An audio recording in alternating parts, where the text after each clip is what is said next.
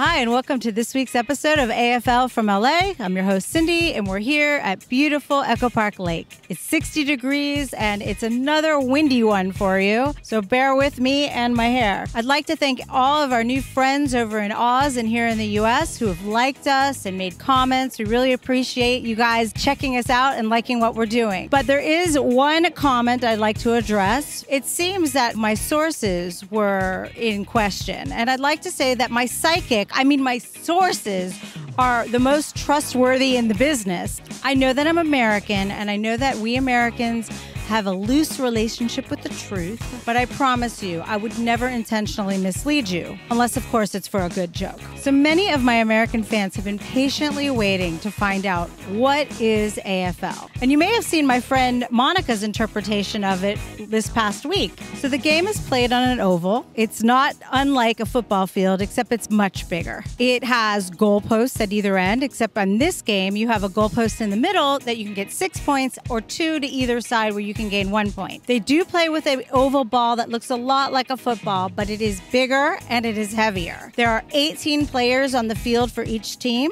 That's 36 in total. That's a lot of good looking men to look at. I mean, every flavor that you could imagine tall, short, big, skinny, brawny, you name it, it's there for your enjoyment. This game is played with no padding, unlike American football. There's kicking, there's running, there's tackling, there's passing, but it's underhand as opposed to overhand. There are four 20 minute quarters, and I'm telling you, these stadiums hold 80 to 100,000 people. And at most games, they're fairly packed. So here are a few footy terms that might come in handy if you start watching the game. So, a soccer, that's when you kick the ball along the ground. A mark, which is a catch. We have a behind, which is one point, and a goal, which is six points. Sometimes they call goals majors. Courage is a word you'll hear often. And what does that mean? That's when you're willing to go for the ball at any cost, even when there's a freight train of other players from the other team coming at you to tackle you. Game one of the round this week was the Western Bulldogs against the Brisbane Lions. And I'll be honest, we were expecting a lot from the Lions after the whipping they gave to the Demons last week. The Bulldogs somehow pulled it off. Adam Treloar and Rory Lobb were back.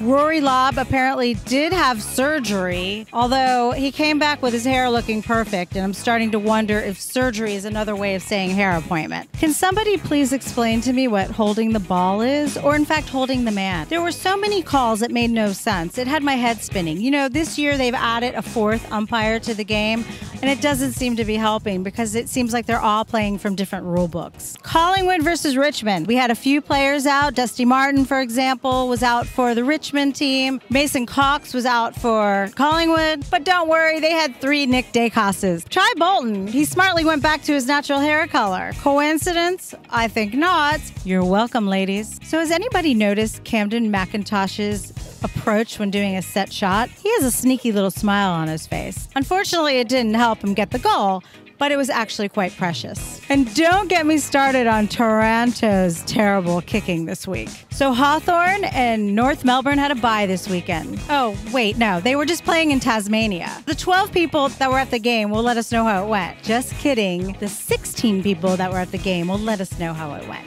All jokes aside, it was a big game for the rivalry between master and apprentice. Hawks finally notch another win, and Clarko's disdain for Sam Mitchell goes up a whole notch as well. GWS Carlton. First, a shout out to my new friend Terry at Blue Abroad. It was a great game. Unfortunately, my second favorite team, GWS, just couldn't get over the mark. It was a hard fought win, but seriously, how was that not a free kick? The umpire's sensitivity here is completely out of control. I watched 10 other examples of what could have been called dissent in other games that were not called. The umpires, you need to do better. Carlton's terrible record at Giants Stadium almost continued, and they were helped out by my boy Toby, who had his lowest disposal game ever. That's okay, Tobes. You're still a superstar, and as Gary Lyon said, a genius. St. Kilda versus Essendon. What can I say? Those old timey jumpers with the collars gave them superpowers, and having the Hulk as your number one fan doesn't hurt either. Hi, Eric. Essendon put up a fight, but the Saints kept marching in. Yes, that's right. They're winning song is The Saints Go Marching In.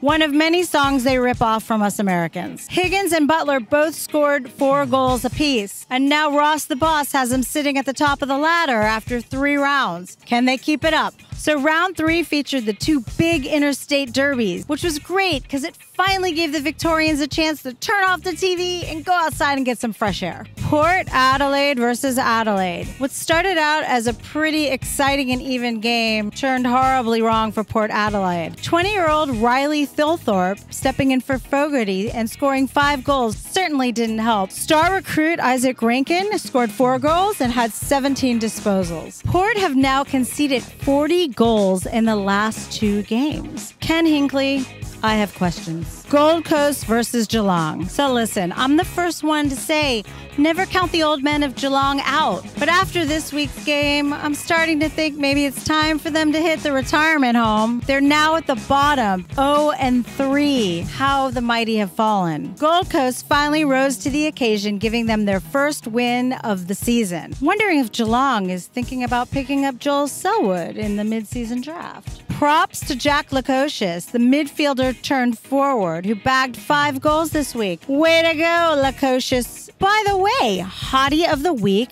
Lachie Weller. 29 disposals. I don't know how this guy wasn't on my radar, but believe me, he is now. Sydney versus Melbourne. It was Sydney's first trip back to the MCG after the horror show of the grand final of last year. And I tell you, today was not much better. What a huge disappointment for Swans fans.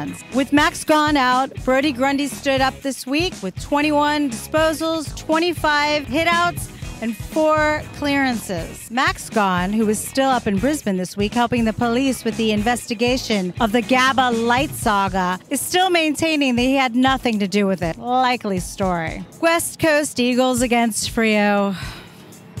Poor Eagles. Freo had to win it, or they were going to a 0 and 3 record. And the Eagles were hoping to go to a 2 and 1 record after their great win last week against GWS. It was a real demolition derby, with Eagles being reduced to friends, family, and Simo's mom, and Liam Ryan forced to play on one leg. Million dollar recruit Luke Jackson finally scored a couple goals and took a couple marks clearly not getting their money's worth yet. Maybe something's finally starting for Luke Jackson. So Michael Walters kicked four goals, and only one of them was from ducking his head. Caleb Serong won the medal this week with 35 possessions, 16 of which were contested. And Tommy Barrass took nine marks. Welcome back, Tommy. I'm glad to see that you and the missus hired a night nurse since you got your new addition to the family. You clearly hadn't been sleeping. So it looks like the Eagles may be out seven players for next week's game against the Melbourne Demons. That's right, the Melbourne Demons. God help us.